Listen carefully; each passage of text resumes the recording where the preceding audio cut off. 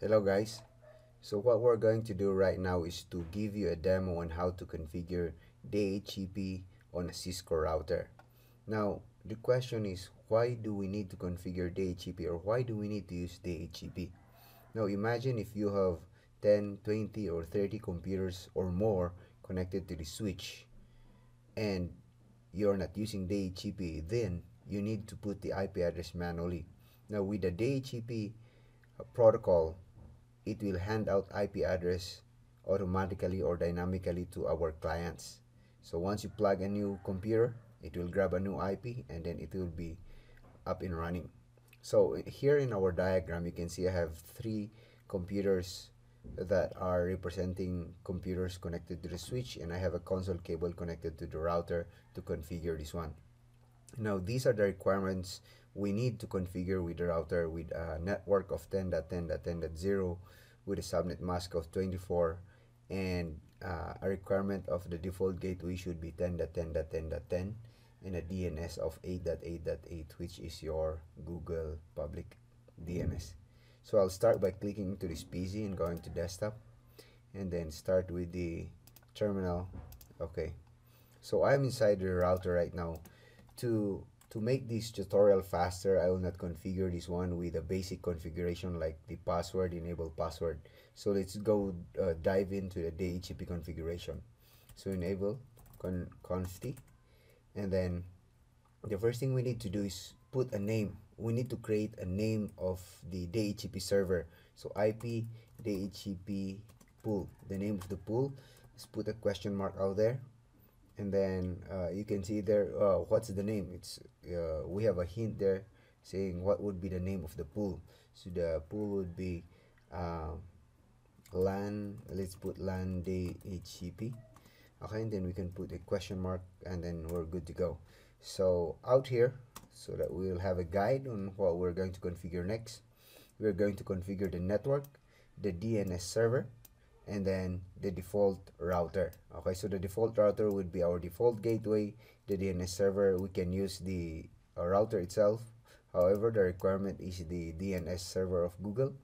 And then we have the network. So we can start by here. Network. So what is the network we're going to use? The network we're going to use is this one.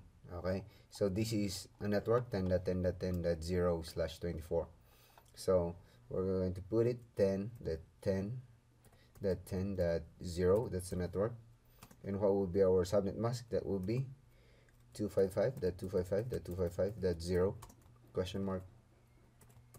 To make sure okay that's good. And the next one we need to do is the default router. So we're going to tell the uh, DHCP pool what would be the default router. Default router would be 10 that 10 that 10 that 10 okay let's make sure question mark okay we're good to go. And then uh, DNS server DNS okay dash server question mark. Okay what would be the DNS server? That 8.8.8.8 okay question mark. Mm -hmm. okay enter. Okay that's it. And then the next thing we need to do is uh, we need to exclude IP addresses uh, uh, IP DHCP excluded address. What's the use of the excluded address? Now I'm going to move this one. Now for us to uh, we should tell the router what are the IP addresses that we are not going to give out since they are going to be used. So this is to avoid IP con conflict with other devices. So for example this default gateway 10.10.10 we need to make sure that the DHCP server will not be giving this IP to our clients that's the use of our excluded IP address. So we're going to exclude uh, 1 uh, 10 that 10 that 10 that 1 we can start with 1 since it says low IP so we're going to exclude a range of IP and then question mark. What would be the high IP so uh, the the IOS is uh, actually Cisco IOS is actually asking us the lower IP and the higher IP which means the range. This is asking for the range. So 10 that 10 that 10 that 10 so we're basically uh, telling the router to exclude the IP address from 10.10.10.1 to 10.10.10.10 so that we can avoid the uh, DHCP conflict. Or if you only want one IP address to be excluded, then you can only put one. Okay, so I'll just enter that one and then I can go in um, exit. Okay, the next thing we forgot to do here is we, we were not able to configure the interface. So uh, we need to put the IP address here uh, 10.10.10.10 in this port. And then we are going to uh, enable that one since it's going red. So it means it's not enabled or it's still shut down. Conf t so I'm going to say uh, interface uh, gig 0 slash 1 uh, IP address would be uh, 10 that 10 that 10 that 10 and then the subnet mask would be 255 that 255 that 255 that 0 and then question mark. Okay it's good to go. And then we're going to say no shut to enable that one. So by the time this is already enabled we can uh, minimize this one. We can see it's turning green. The other one is, uh, still negotiating. It should turn turn green also. While waiting for this one to turn green we can go here to our uh, computer uh, close this one. We go to IP configuration and you can see this one it's in static mode. We're going to press DHCP and it should st start to get IP address. It's actually requesting for an IP address. So you can see there uh, it cannot grab an IP it says uh, 169 so that's actually APIPA. Uh, let's do it again to make sure. Oh there you go. The first one was uh, I think uh, the the negotiation here was stacked up so we were not able to get the IP address automatically a while back. Now when we did a like kind of refresh that one we were able to grab. So actually the first IP it took was 11 because we excluded 10.10.10 and you can see it here. So we can also try to ping this IP address to make sure. Okay so we go here um, desktop close this one go to uh, and then ping 10 that 10 that 10 that 10 okay?